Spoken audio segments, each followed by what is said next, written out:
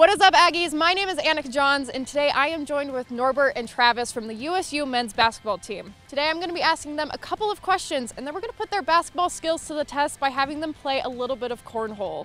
Let's get to it. If you could be any superhero, who would you be? Batman. Probably the Hulk. Batman. I don't really have a reason. I just like the movies. The Hulk. Yeah. Okay. Because I mean, he's pretty strong. He looks pretty good. I mean, he's green, but apart from that, he looks pretty good.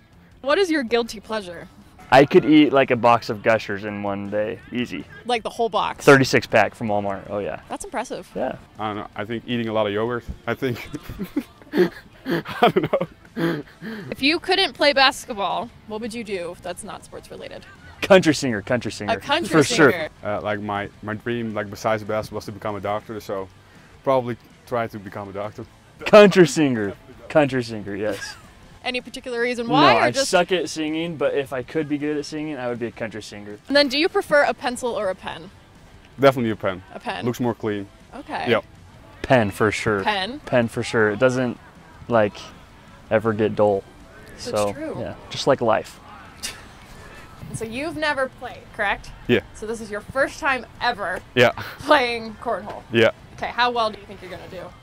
I think I'm doing pretty well. I mean, I play against Travis, so. The smack talk. Oh Okay, close. Oh. Travis. Got it.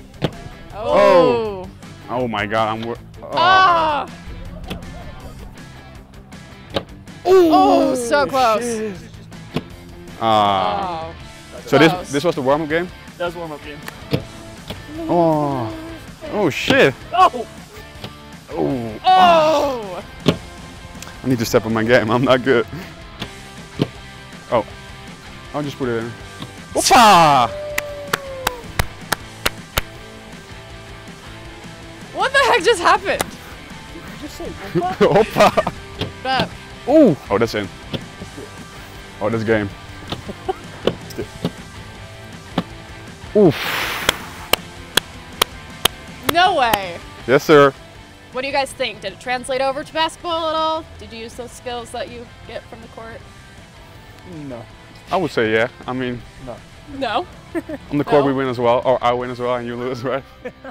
I know. I mean, he did beat you. Yeah, Let's not shit. mention that. Let's not mention that.